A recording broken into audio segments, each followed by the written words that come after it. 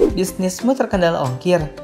Pakai Gudang Yubi, ongkir hanya 9.000 sejawa. Sekarang ada di Sumata juga loh. Yuk daftarkan bisnismu sekarang. Gudang Yubi, saluran distribusi online. Nah, dengan menggunakan game plan yang kedua seperti ini, brand Anda lebih terbangun.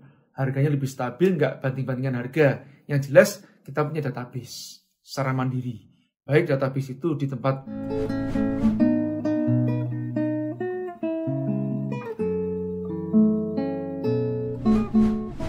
Bismillah. Nah, saya sudah memvideokan sebetulnya di YouTube saya Jaya Setia Budi ada judulnya Jangan Harap Balik Normal. Apa sih intinya? Intinya sebetulnya inilah yang terjadi pada saat pandemi. Angka belanja retail online itu naik katanya 400%, ada yang 600%, intinya naik gitu aja. Kalau kita bicara masalah dulu angka belanja retail online itu di sekitar angka 3 persenan, mungkin sekarang bisa jadi sudah melonjak di angka 10 persenan dari total belanja retail online di Indonesia. Memang sebarannya lebih banyak di daerah Jawa, terutama Jabodetabek, Cil, Jabar ya. Itu yang bisa dikatakan 60 persennya mungkin ada di situ. Hanya saja angka-angka ini tentu aja dengan berjalannya infrastruktur semakin bagus di Indonesia, ini akan menaikkan angka belanja retail online-nya. Nah ini teman-teman yang harus tahu. Jadi di balik papan mungkin sekarang tidak benar-benar sangat berpengaruh uh, yang disebut namanya online, tapi sudah mulai ya sudah mulai dirasakan dikarenakan ada pandemi ini. Kenapa saya mengatakan juga jangan berharap balik uh, normal? Itu karena salah satunya begini, kita nggak pernah ngerti pandemi ini akan sampai sampai kapan. Kita estimasi kemarin-kemarin, oh Desember katanya dapat bocoran si Miss Coronanya akan kabur dari Indonesia. Ternyata tidak juga. Diperpanjang lagi, bahkan sekarang ada berita-berita tentang virus-virus yang baru. Ah, sudahlah. Daripada kita paranoid ya, mendingan kita hadapin saja dengan imunitas diri kita. Itu yang paling penting nomor satu. Dan doa. Oke. Selain itu juga ada yang mengatakan naiknya tadi 6 kali lipat atau 600 persen. Ini dari Mark Plus bahkan surveinya. Nah, yang parahnya mall-mall itu meskipun eh, sekarang sudah mulai normal ya, bisa dikatakan traffic lalu lintas itu kan sudah di angka balik ke normal 70-an persen ya. Kemacetannya kok di Jakarta tuh terasa banget begitu uh, masuk ke Jakarta. Kalau dulu satu setengah jam pas corona itu nyampe dari Bandung tempat saya tinggal sampai ke Jakarta. Sekarang wah dua jam sudah mulai macet di Jakartanya.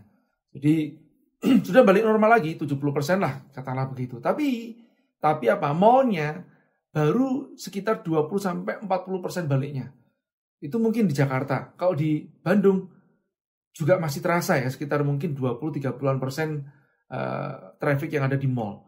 Nah, teman-teman uh, mengetahui ini fenomena yang seperti ini bukan uh, hal yang sembarangan. Padahal sebetulnya trafficnya sudah balik. Kenapa kok di mallnya nggak balik? Nah, apa yang berubah?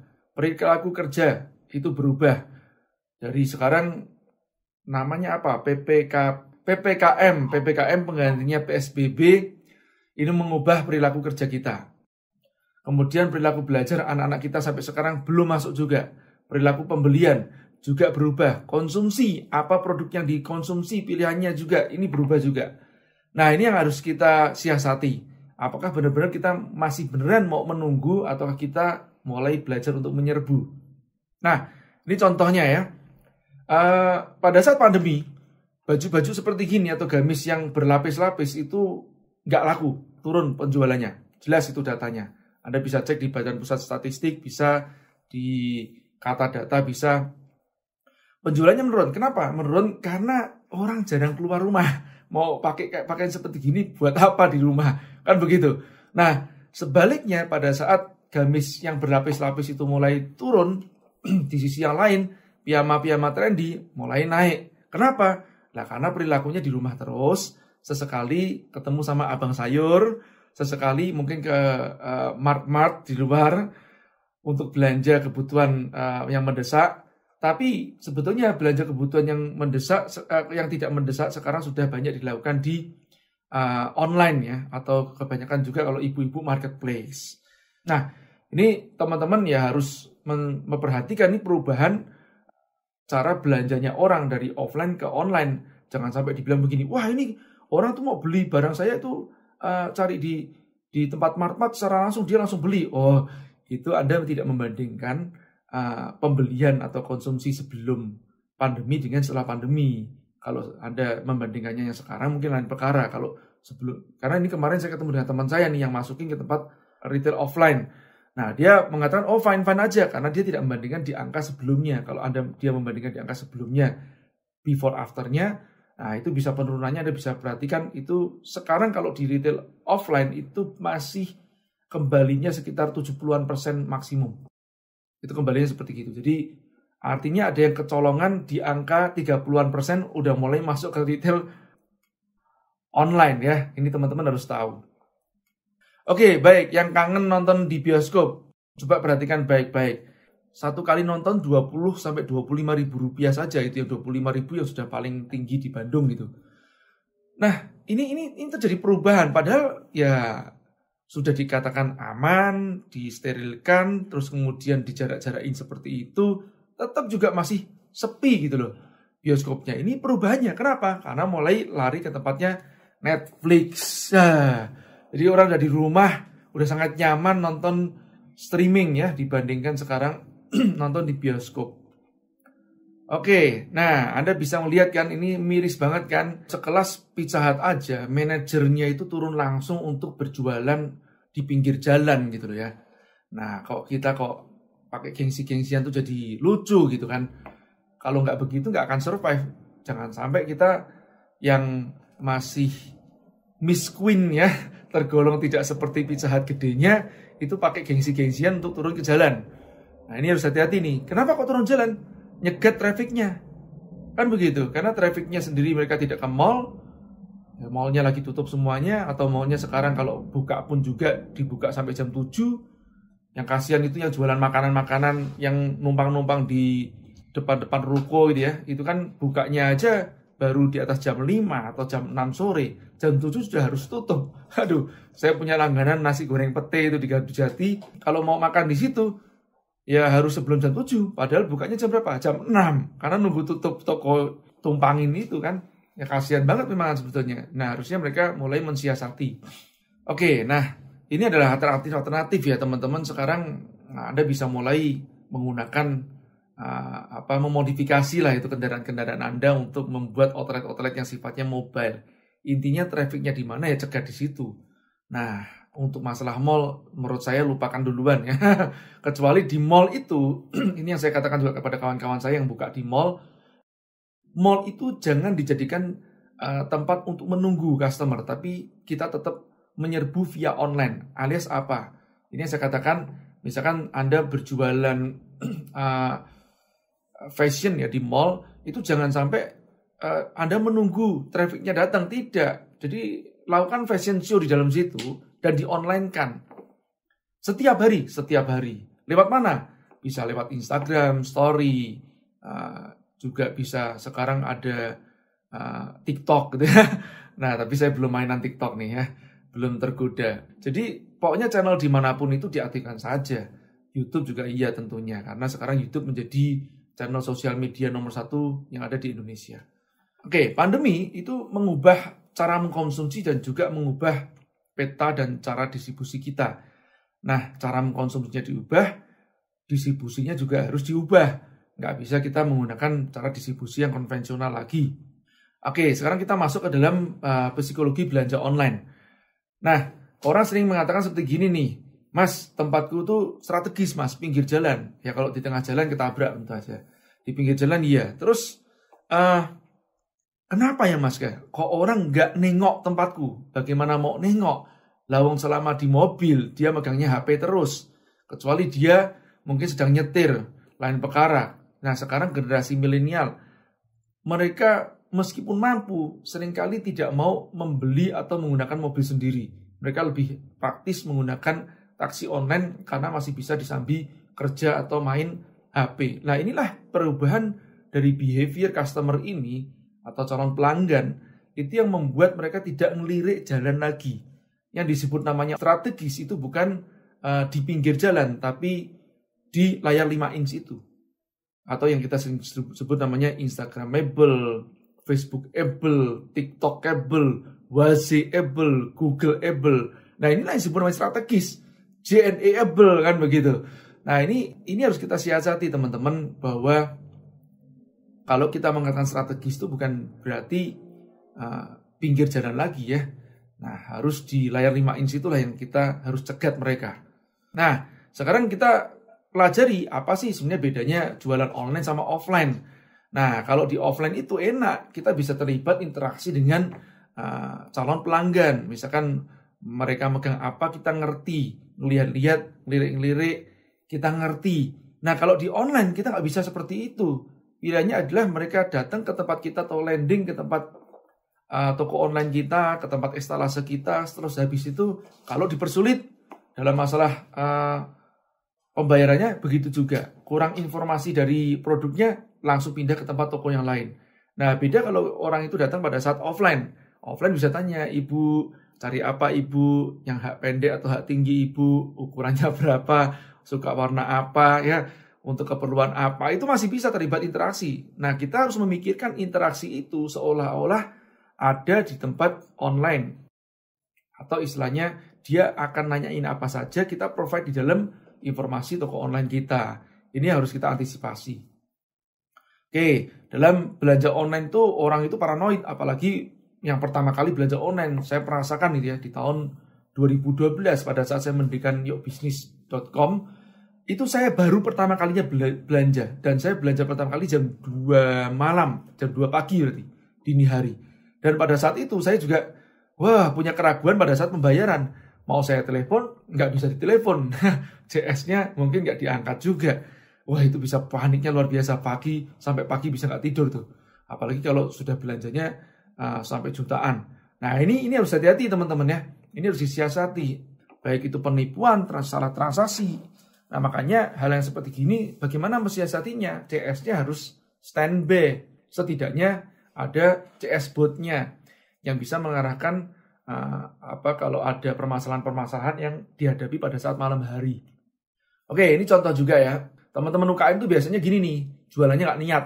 Menjual suatu produk, produk pasmina lah gitu ya, katakanlah dikasih warna, kasih apa namanya angka-angka. Nah ini kalau Anda mau membeli yang nomor 8 misalkan, itu kan susah banget. Satu harus ngurutin nih.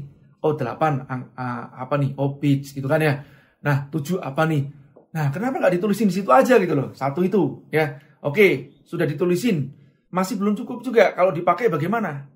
tampangnya kayak apa kan begitu ya. Nah, ini juga seperti itu. Udah ditulisin juga, masing-masing juga harus diperagakan gitu kan. Jangan sampai hanya dipajang seperti ini doang aja kan. Nah, ini pun juga masih ada yang kurang. Tampak depannya sudah kelihatan, tampak belakangnya seperti apa. Detail uh, bahannya seperti apa, jahitannya seperti apa. Nah, inilah yang ditanyakan oleh mereka-mereka yang akan beli uh, pada saat online. Tapi mereka tidak tanya. Mereka scroll nggak ada, slide nggak ada, pergi itu aja selesai. Tahu-tahu Anda, loh kenapa ya kok toko kok aku udah buka toko online tapi nggak laris gitu kan. Seringkali kan pertanyaan seperti gitu. Nah, yang keharusan di fashion itu apa? Visualnya lengkap, varian, bahan, dan harus ada size chart setiap kali postingan. Jangan nanti size chart, size chart lihat di highlight. Waduh, ini namanya pindah channel ya. Kalau sudah pindah channel lagi, ya kadang-kadang gini nih, pas dia scroll scroll nih di Instagram Anda nih misalkan ya ini customer journey-nya. Scroll scroll scroll, eh ketemu nih slide slide slide cocok nih. Oke, size chartnya nggak ada nih. Terus dia ada keterangan di size chart, lihat di highlight. Dia pergi ke highlight. Oke, jadi akhirnya geser ke kiri, dia habis itu masuk ke tempatnya highlight. Dia highlight dapat size chartnya. Oke, sizeku L. Nah, habis itu gimana? Wah, tadi produknya yang mana ya? Waduh, produknya mana? Di scroll, scroll, scroll, scroll lagi, nggak ketemu. Kenapa? Karena sudah terlalu bawah. Dia lupa untuk bookmark ya atau keep. Nah ini yang terjadi. Kalau ini terjadi, apa artinya? Anda kehilangan kesempatan lagi untuk mendapatkan atau closing penjualan. Jadi ternyata nggak mudah ya kita jualan secara online itu. Oke, ini saya ambil contoh ya. Satu yang contoh yang bagus dari uh, mereknya Nina Nugroho. Uh, ini ini postingan di tempat carousel, misalnya carousel itu apa postingan atau timeline gitu ya di tempatnya Instagram. Ini bagus nih. Nah, selain setiap kali ada launching produk baru, uh, dia buat seperti ini, tampilannya bagus. uh, supaya kelihatan gitu ya. Oh, ini ada produk barunya yang sedang launching. Dan di detail detailnya di tengahnya juga dia kasih kalau ada perhatikan ada dot-dot itu kan adalah adalah hitungan slidernya. Oke, kita hitung sama-sama nih. Satu gambar, dua gambar dengan menggunakan masker ya dan namanya apa? Navy Light Pitch Shirt to Color. Oke, baik. Bicara masalah nama atau produk brandnya nanti kita bisa bicarakan lagi di sesi yang akan datang ya. Itu biasa kita bicarakan di masalah brand atau sub brand atau artikel brand. Oke, nah ini masuk nih. Sudah ada uh, deskripsi di sebelah kanannya, ada detail uh, foto produk yang kedua, foto produk yang ketiga, oke, okay, dengan detail foto, foto produk yang keempat, ya, detailnya lagi, yang kelima, yang keenam, ketujuh tampak depan belakang, kedelapan zoom dari belakang, size chart. Ini yang saya katakan, size chart tetap harus ada setiap kali uh, Anda posting. ya, setiap kali posting posting pastikan kalau ini fashion kasih size chart. Kenapa saya kasih contohnya fashion? Kalau makanan nggak usah paling ribet-ribet, makanan nggak usah detail kanan, detail kiri, bawah nggak usah. Ya, tapi kalau uh, fashion itu paling ribet deh. Nah, yang terakhir ini yang paling penting banget nih. Pada saat Anda uh, shooting atau foto foto shoot ya, itu pastikan selain foto shoot juga divideokan videonya nggak usah harus pakai kamera-kamera yang profesional dan harus pakai uh, berbagai macam gaya begitu nggak usah. Pokoknya pas begini, pas begitu, pas begini, ya itu langsung di videoin aja. Pakai kamera HP saja sudah cukup. Tapi yang penting kamera HP-nya yang bagus ya. Nah sekarang udah bagus-bagus, resolusinya udah tinggi, pencahayaannya bagus. Nah langsung dibuat seperti gini saja, diupload. Durasinya kurang dari satu menit. Nah ini untuk melengkapi supaya kalau dipakai uh, berlenggak-lenggok seperti apa langsung kelihatan. Detailnya juga begitu. Ya Anda bisa lihat nanti ini, ini di tempatnya Mbak Nina Nugroho ini uh, buat saya contoh postingan yang uh, disiplin bagus ya saya katakan. Bagi UKM susah untuk disiplin soalnya. Dan kebetulan beliaunya juga sekarang sedang nyimak dengan timnya. Ini saya tidak dibayar ya, saya nggak pernah endorse dibayar.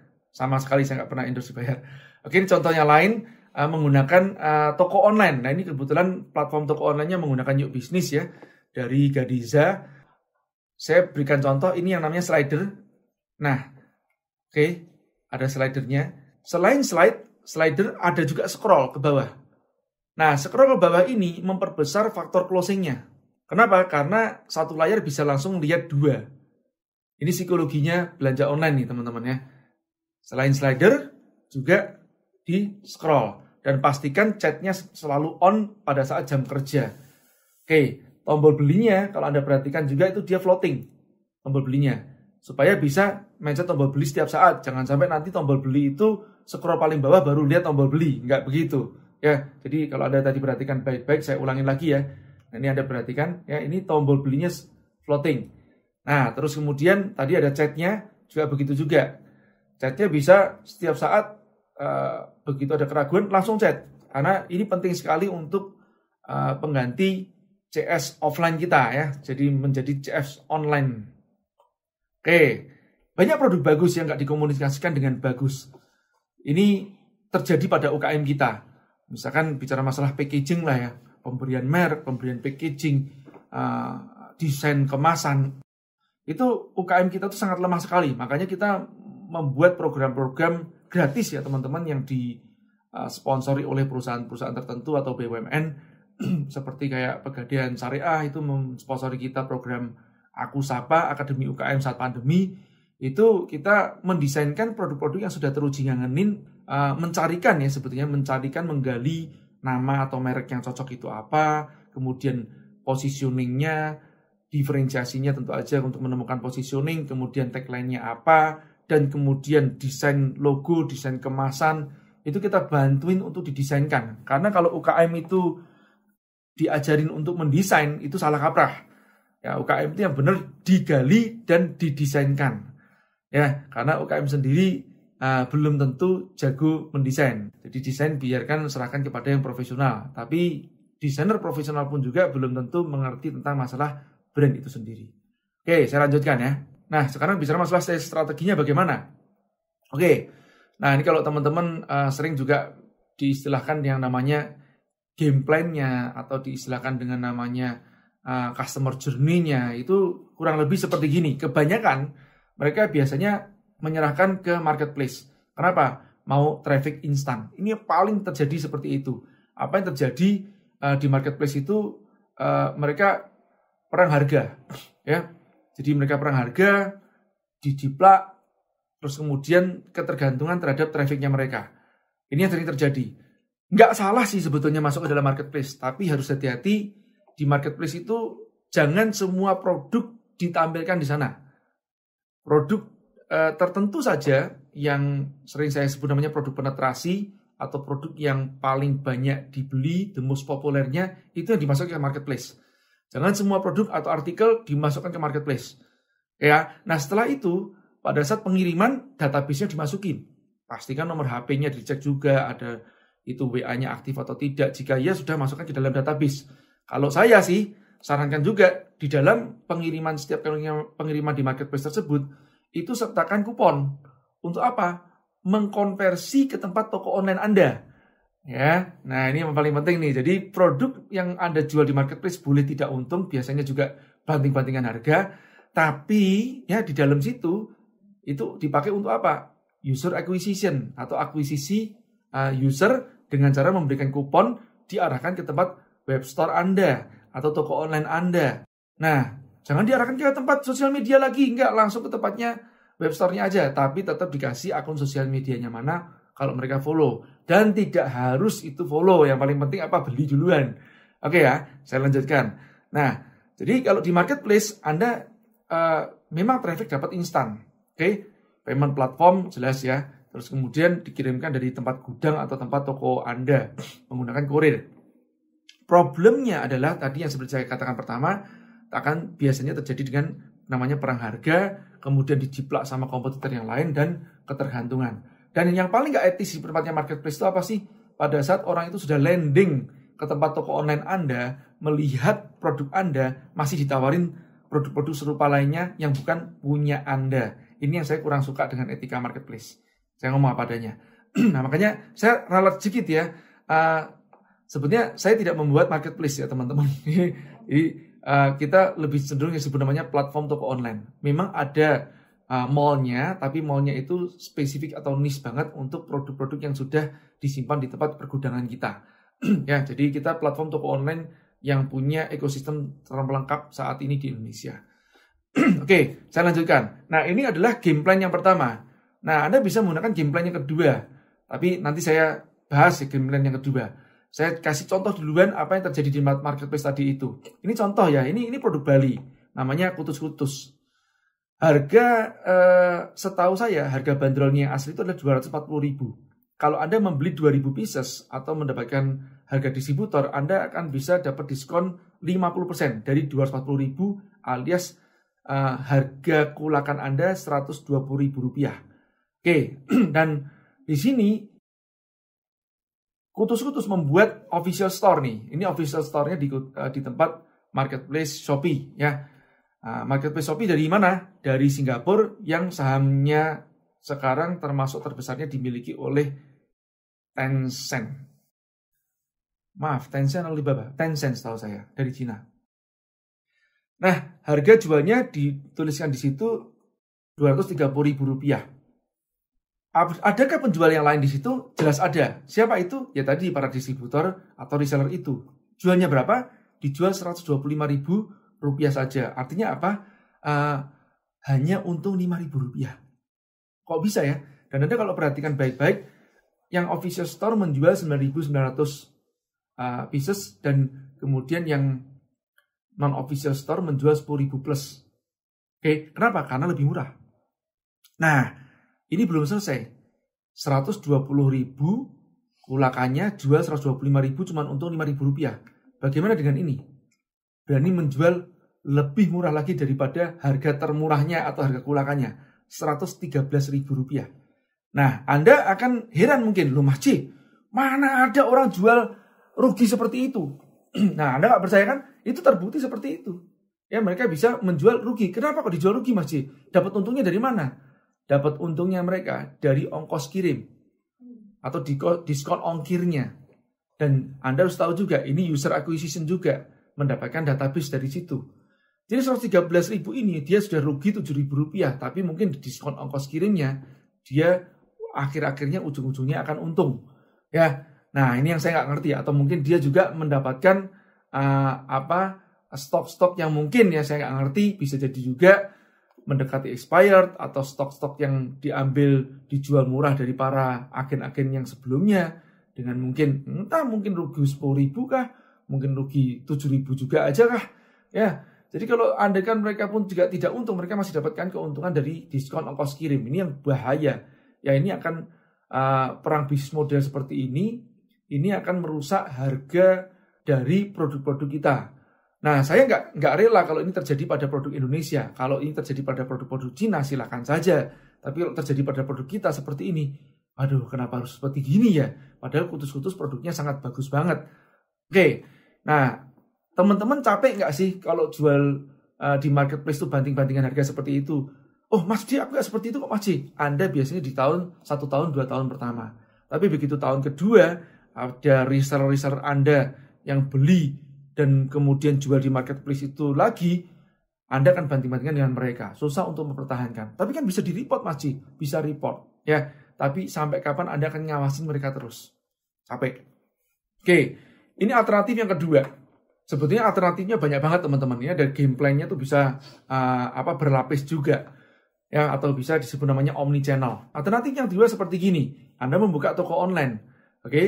Sekarang sudah banyak platform-platform toko online tidak hanya yuk bisnis, tapi toko-toko apa platform toko online yang lain juga ada. Silakan Anda pilih, nggak menjadi masalah.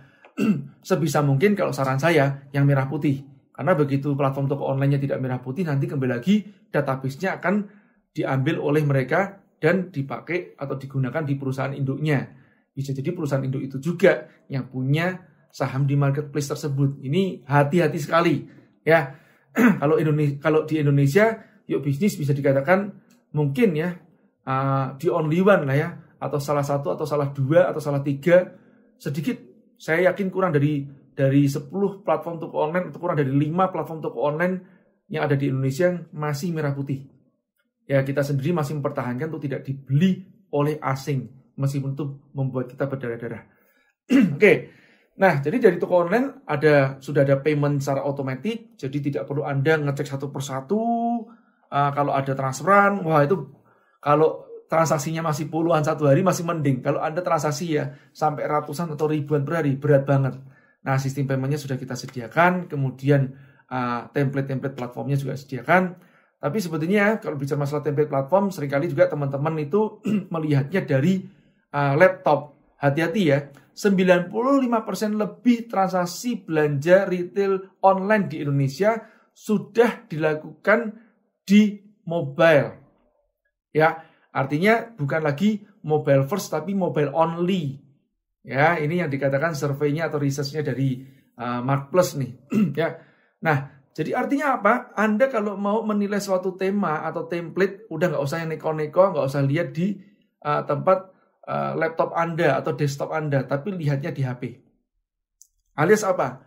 Sesimpel mungkin saja, kalau bisa seperti itu. Dan mobile responsif. Oke ya.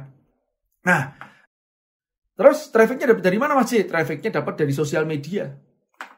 Dikejar dari sosial media. Mau itu dari traffic berbayar, langsung ke ads-nya seperti FB Ads, IG Ads, TikTok Ads, YouTube Ads atau kalau namanya kan Google uh, Display Network atau mungkin Google AdWords. Nah, silakan. Atau mungkin dari social chat yang sering disebut sebagai dark sosial, grup-grup Facebook, grup Instagram, eh grup Instagram nggak ada, grup WhatsApp, grup Telegram ya. Nah, silakan ambil dari situ atau dari influencer. Nah, ini yang saya suka. Saya lebih prefer daripada bayar uh, traffic berbayar ke tempat luar, ke asing, lebih baik teman-teman bayar ke tempat influencer, terutama influencer yang merah putih. Jadi kenapa? Supaya perputaran perekonomiannya dalam negeri. Ya, kenapa saya mengatakan influencer merah putih? Influencer yang tidak bangga-banggain beli produk-produk asing. Ya, itu nista namanya. sebisa mungkin beli produknya produk Indonesia. Nah, yang influencer seperti gini yang dipakai nih ya. Sekarang malah lebih populer atau beken dengan namanya micro influencer karena dampaknya micro influencer itu sekarang lebih besar dibandingkan influencer yang sudah punya jutaan follower. Yang punya jutaan follower biasanya dibayar berapapun sudahlah dibayar Uh, pokoknya kalau memenuhi persyaratan bayarnya, dia akan upload. Di, kalau di tempat influencer yang pemula, sering kali nggak sebegitu tuh. mereka masih bisa, masih kadang-kadang selektif atau tidak banyak yang uh, mereka endorse. Nah ini kadang-kadang ada bagusnya nih. Ya, oke. Okay. Yang penting sih sebisa mungkin influencer itu gunakan yang influencer yang mereka yang selektif atau yang sesuai dengan persona brand Anda atau produk Anda. Nah, dengan menggunakan uh, game plan yang kedua seperti ini, brand Anda lebih terbangun, harganya lebih stabil, nggak banting-bantingan harga. Yang jelas kita punya database secara mandiri. Baik database itu di tempat traffic source kita atau seperti Instagram kita sebagai followernya, uh, juga database di tempat uh, tempat platform kita ya itu bisa kita olah seperti email seperti nomor WA-nya nanti bisa kita olah kita lakukan uh, pengiriman atau blast pada saat ada update produk baru. Oke ya, lanjut ya. Nah, oke ini kalau sudah cukup dibuat uh, omni channelnya seperti gini nih. Ini contohnya punya binaan kita konspirasi snack nih. Ini tadinya awalnya hanya membuat zanana chips atau keripik pisang zanana yang sudah ada di mana-mana ya. Nah, kemudian dia mengumpulkan atau menjadi agregator produk-produk snack yang pilihan yang lainnya. Nah, kemudian dari situlah masuk ke tempat pergudangan. Nah, mereka menggunakan gudang-gudang pergudangannya adalah Yuk Bisnis nih. Punya Yuk Bisnis kita punya guyub gudang.yukbisnis.com. Nah, kemudian penjualannya ada di platform ya, dropshipper kita yang kita punya namanya Yubi Mall.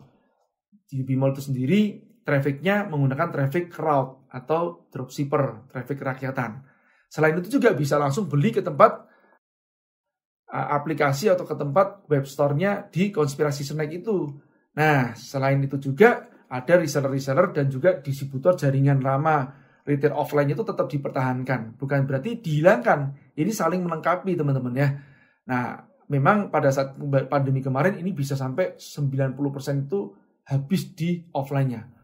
nah, sekarang uh, dipertahankan bagaimana online-nya itu bisa naik di atas 30% kan begitu loh. Tapi retail offline-nya alhamdulillah sudah mulai kembali lagi meskipun tidak kembali seperti normal dulu. Oke. Nah, sekilas ya teman-teman tentang masalah gudang Yubi itu apa? Bisnismu terkendala ongkir. Pakai gudang Yubi, ongkir hanya 9000 sejawa. Sekarang ada di Sumata juga loh. Yuk daftarkan bisnismu sekarang. Gudang Yubi, saluran distribusi online. Nah, gudang Yubi ini sendiri kita bekerja sama dengan JNE JNE punya gudang-gudang idol yang uh, dari situlah dialokasikan untuk yuk bisnis ya atau mitra Yubi. Nah kalau Anda punya produk itu yang sudah pilihan tapi dan produknya harus merah putih, masuk ke tempatnya gudang Yubi bisa request penjemputan gratis. Kemudian penyimpanan tempat gudang itu gratis kalau produk Anda terjual dalam waktu dua bulan. Jadi begitu terjual dalam waktu dua bulan, masukin yang baru lagi gratis lagi gitu loh ya. Kalau lebih dari dua bulan baru nanti kena charge. Artinya produknya harus diperkirakan dalam dua bulan itu sudah harus habis atau inventory turnovernya dua bulan. Oke, nah setelah itu uh, ongkos kirimnya murah banget. Tadi Anda lihat kan hanya Rp9.000 sejawa dan Sumatera. Insya Allah nanti begitu buka Sulawesi, buka di uh, Kalimantan juga akan Rp9.000 sejawa Sumatera, Kalimantan dan Sulawesi. Bali masuk nggak Bali? Bali masuk ribu rupiah beli. Nah ini mudah-mudahan beli uh, Aci masih nonton ya. Kalau nonton bisa nanti dicoba deh Krishna di uh, apa namanya didistribusikan di beberapa tempat ya. Di empat tempat sekarang gudangnya ada di Solo, kemudian di Cimanggis, Palembang dan Medan untuk mengcover Sumatera. Oke, saya lanjutkan ya. Nah, ini yang sudah kita bangun ya selama ini ekosistem bisnis seperti ini kita sedang mempersiapkan uh, permodalannya juga untuk kawan-kawan yang menjadi mitra dari gudang Yubi atau Guyub. Kemudian juga nanti kita bekerja sama dengan yang lain ya tentu aja tidak sendirian ya teman-teman. Ada uh, Pegadaian Syariah, ada JNE, Bank Indonesia juga menjadi salah satu mitra kita, tapi mitra ini nih ya, mitra dari uh, mendapatkan binaan ya. Nah, kalau di tempat kita sendiri program-program yang dilakukan oleh pemerintah seperti uh, Bekraf yang dulu sekarang-sekarang menjadi Kemenparekraf atau juga Bank Indonesia, itu alumni-alumninya tidak langsung kita lepas. Meskipun kontrak kita dengan uh, para institusi atau instansi tersebut sudah selesai, tapi uh, UKM-nya tetap masih tergabung dalam grup-grup kita yang kita maintain dalam grup-grup seperti Telegram atau grup-grup dari Line. Itu masih kita maintain sampai sekarang dan kita bina. Oke, saya lanjutkan. Nah, kalau bicara masalah sales, pasti nggak akan lepas yang disebut namanya funneling ya teman-teman. Ya, ini konsep ini sudah sangat lama saya tambahkan satu aja retention ya, AIDAR bukan AIDA saja, attention, interest, desire, action, retention. Karena ujung-ujungnya suatu bisnis itu yang paling penting adalah retentionnya. Oke, apa sih itu attention, interest, desire, action? Intinya sebenarnya simple. Bagaimana kita menarik pengunjung, kemudian memberikan informasi kepada pengunjung, saat mereka tertarik, terangsang untuk beli, mereka beli menjadi customer, dan kemudian menjadi pelanggan. Harapan kita itulah mereka menjadi pelanggan atau loyalis kita. Nah ini contohnya ya, kalau bicara masalah journey dari customer itu sendiri, ya kalau kita mulai dari sosial media yang menjadi sumber traffic saat ini yang paling banyak, terus mereka nanti langsung ke mana? Kebanyakan dari teman-teman mungkin dari sosial media diarahkan ke tempatnya WhatsApp ya, kemudian baru mungkin check outnya secara manual, ngisi data semuanya manual semuanya. Nah ini kadang-kadang kalau kalau semakin uh, besar trafficnya ya semakin gempor CS-nya ya makanya biasanya disiasati oleh layer yang kedua. Layer yang kedua itu apa? Toko online atau uh, landing page gitu ya.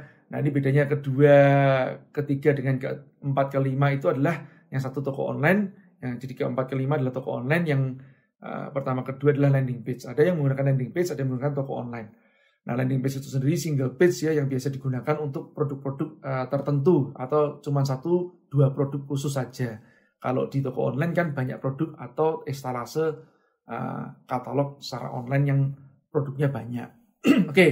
nah biasanya landingnya masih juga semi manual ke tempatnya WhatsApp. Ada juga yang dari uh, situ mereka langsung check out ke tempatnya toko online kemudian langsung bayar. Ya, ini game plan-nya bisa macam-macam. Ada yang langsung ke tempatnya toko online, tergantung produknya. Ya, teman-teman harus tahu lagi tergantung produknya dan tergantung seberapa uh, si konsumen teredukasi. Nah, saya kasih jalan tengah nih, teman-teman ya.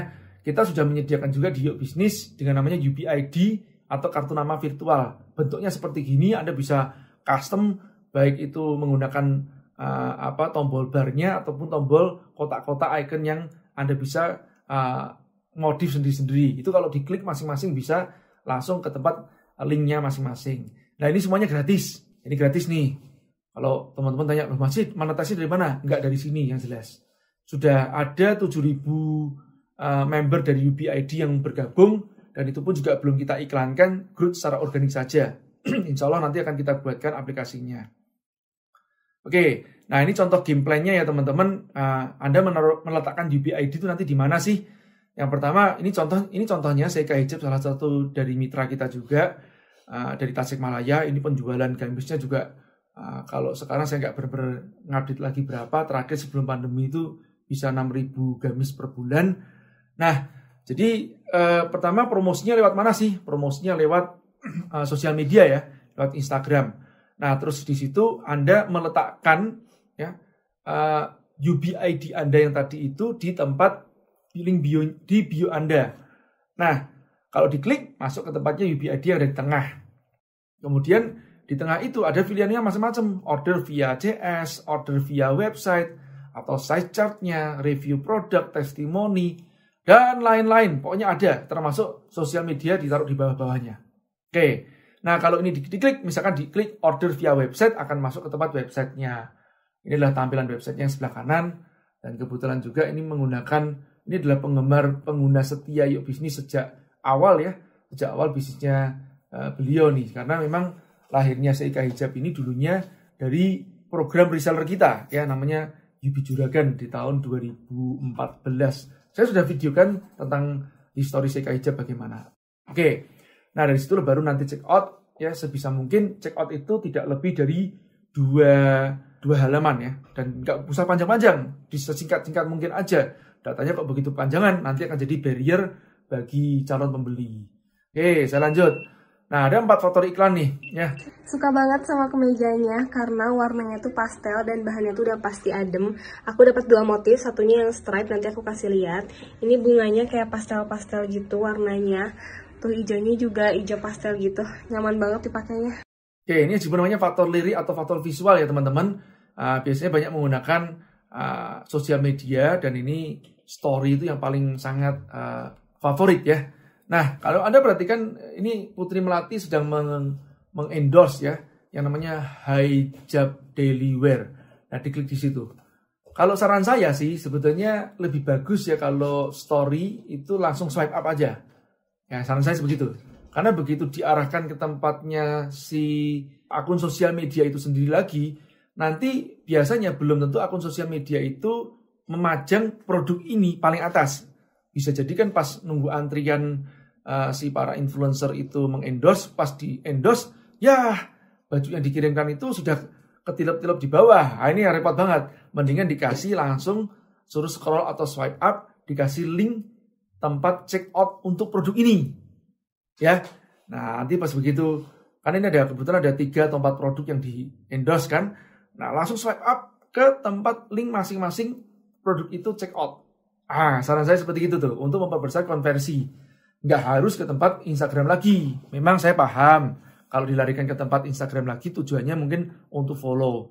Yes, tapi kalau saran saya, saya lebih memilih ke tempat toko online. Nanti kita bisa komunikasikan untuk follow. Kemudian tidak harus pada saat itu. Yang penting pokoknya langsung swipe up untuk order saja. Atau kalau enggak dikasih dua. Ya ada linknya uh, Instagramnya dan di bawah bisa langsung swipe up. Ya, nah ini faktor lirik ya. Kemudian uh, headline-nya, faktor simak atau visualnya juga uh, apa penting sekali untuk membuat orang menyimak. Nah, kemudian kalau ini kalau saya katakan headline konten kemudahan ini ini sebetulnya kalau idealnya dalam landing page ya. Itu seperti itu atau dalam postingan untuk produk-produk yang sifatnya uh, membutuhkan penjelasan yang panjang. Ya kalau untuk produk fashion paling penting adalah visual saja, selesai. Nah, jadi orang setelah itu mau beli atau tidak beli, yaitu tergantung nanti kemudahan-kemudahan yang didapatkan dia pada saat bertransaksi. Oke, nah tadi saya mengatakan bahwa kalau Anda punya toko offline, ataupun juga tidak punya toko offline yang menjadi masalah, rumah Anda bisa Anda sulap sebagai yang namanya uh, catwalk Anda. Nah, jadi kalau punya toko offline yang sepi, jangan dianggurkan, dijadikan tempat catwalk. Kalau punya cuman studio di rumah atau punya kamar saja, ya sudah dikasih tirai-tirai seperti gitu. Sekarang di modif-modif seperti gini saja, ya sudah cukup. Ini menjadi instalase uh, live Anda, ya. Nah ini kayak punya channel TV sendiri kan. Tuh, ini sebenarnya apa sih? Belakangnya pintu doang. Ini mungkin kamar kos juga bisa dilakukan seperti gitu. Ya seperti Putri Melati aja bahkan hanya menggunakan uh, apa yang namanya hmm, kaca atau cermin ya dikasih lampu-lampu tadi dan dia cuman berlenggak-lenggok seperti gitu saja di depannya cermin doang saja sudah bisa ngindos uh, banyak hal oke nah ini yang dilakukan. Jadi jangan berhenti untuk berpromosi.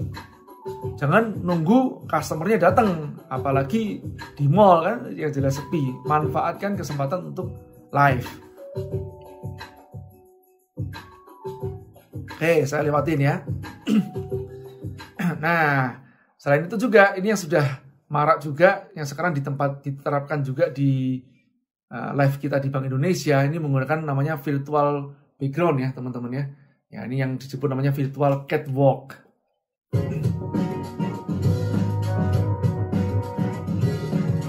Kelompok pekerja industri kreatif di Surabaya menggelar pertunjukan busana dan kecantikan secara virtual dengan memanfaatkan teknologi green screen atau chroma key dengan bantuan proses olah visual digital. Pertunjukan yang tidak biasa ini bertajuk Virtual Beauty and Fashion 2020.